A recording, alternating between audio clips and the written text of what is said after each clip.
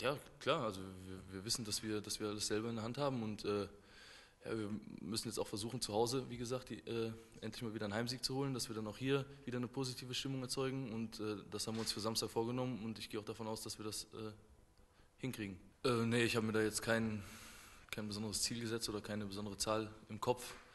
Äh, Wäre natürlich schön, wenn ich äh, die Anzahl der Tore von letztem Jahr bestätigen kann.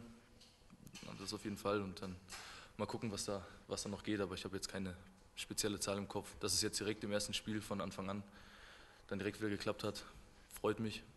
Und ja, vielleicht kann das ja so weitergehen. Ja, also wie gesagt, dieser, dieser, letzte, dieser letzte Tick äh, im Zweikampf, der, der fehlt. Wir sind gegen Schalke, um nochmal darauf zurückzukommen. Wir haben, wir haben gut verschoben, wir sind sehr viel gelaufen, aber so der letzte Tick, um, den, um im Zweikampf zu sein, der hat gegen Schalke halt gefehlt. Natürlich, die haben das gut gespielt, die haben uns viel laufen lassen.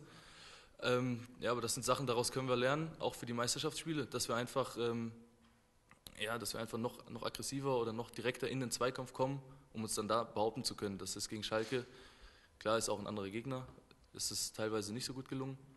Aber wie gesagt, daraus kann man auch lernen und das dann in der Meisterschaft besser machen.